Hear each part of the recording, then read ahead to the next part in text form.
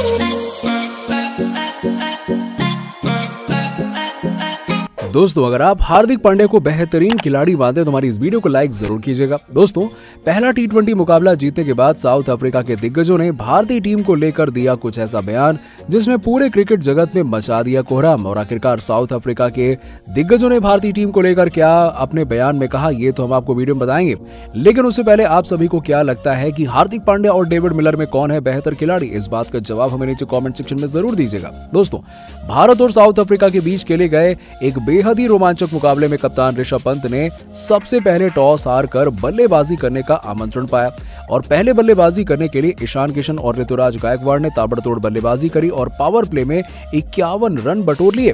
लेकिन इसके बाद ऋतुराज गायकवाड़ के 23 रन पर आउट हो जाने के बाद श्रेयस अय्यर के 36 और ऋषभ पंत के 29 रन थे। और इसके अलावा ईशान किशन ने बहुत ही ज़बरदस्त बल्लेबाजी करते हुए छिहत्तर रनों की महत्वपूर्ण पारी खेली। और अंत में हार्दिक पांड्या की इकतीस रन की पारी ने भारतीय टीम को बहुत ही आगे पहुँचा दिया और भारतीय टीम 20 ओवर में 211 रन, चार विकेट के नुकसान पर बना पाई, जिसके बाद 212 रन के लक्ष्य का पीछा करने जब साउथ अफ्रीका की टीम उतरी तो साउथ अफ्रीका के कप्तान तिम्बा भाउमा 10 रन पर आउट हो गए। लेकिन इसके बाद बहुत ही ज़बरदस्त बल्लेबाजी करते हुए साउथ अफ्रीका के बल्लेबाज डेविड मिलर और वेंडर हुसैन ने 75 और चौसठ रन की पारी खेलकर भारतीय टीम को पाँच गेंद शेष रहते ही मुकाबला हरा दिया।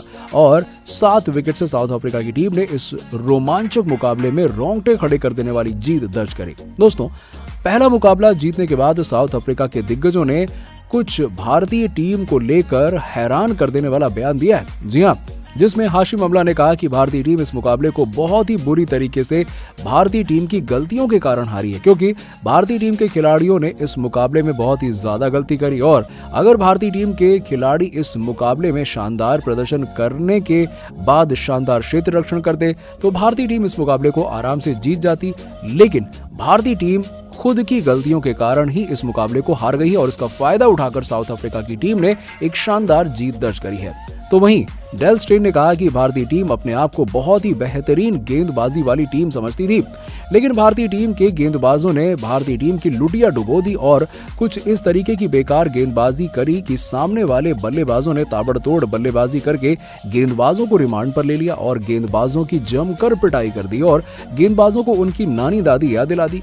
भारतीय टीम के गेंदबाज बहुत ही ज़्यादा उड़ रहे थे और अपनी गेंदबाजी पर ज़्यादा ही घमंड कर रहे थे, जिसके कारण उनको मज़ा चखाना अनिवार्य हो गया था। और भारतीय टीम के बेकार प्रदर्शन के कारण ही साउथ अफ्रीका की टीम ने ताबड़तोड़ बल्लेबाजी करके जीत दर्ज की है। तो वहीं एवर डिवेलियर्स ने कहा कि भारतीय टीम इस मुकाबले को उनकी बेकार कप्तानी, बेकार क्षेत्र रक्षण और बेकार गेंदबाजी के कारण हारी है, क्योंकि कप्तान ऋषभ पंत ने बहुत ही ज़्यादा गलत फैसले लेते हुए और गेंदबाजों का बेकार तरीके से उपयोग करके मुकाबले में अपने आप को पीछे लाकर खड़ा कर लिया। और उनके गेंदबाजों ने तो बहुत ही बेकार गेंदबाजी करी और जहाँ मुकाबले को पलटने की आवश्यकता थी, वहाँ गेंदबाजों ने ताबड़तोड़ बेकार गेंदबाजी करके बल्लेबाजों को तोहफे में रन दे दिए, जिसको साउथ अफ्रीका ने बखूबी कबूल भी किया और कहा कि ठीक है, आगे बढ़ो और क्या। इसके अलावा क्षेत्र रक्षण भारतीय टीम का बहुत ही ज़्यादा कमज़ोर भाग रहा, जिसके कारण साउथ अफ्रीका की टीम भारतीय टीम को पहले मुकाबले में ध्वस्त कर चुकी है। दोस्तों, साउथ अफ्रीका की टीम इस मुकाबले को किस खिलाड़ी के कारण हारी है, इस बात का जवाब हमें नीचे कॉमेंट सेक्शन में ज़रूर दीजिएगा और ऐसी ही खबरों के लिए सब्सक्राइब कीजिए हमारे यूट्यूब चैनल को। धन्यवाद।